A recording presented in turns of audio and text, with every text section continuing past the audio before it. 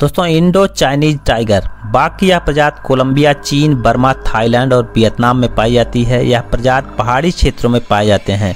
पुरुष बाघ की लंबाई 250 सेंटीमीटर के करीब और वज़न लगभग 150 से 200 किलोग्राम तक होता है, तथा मादा बाघ की लंबाई 240 सेंटीमीटर और वज़न 100 से 130 किलोग्राम तक होता है।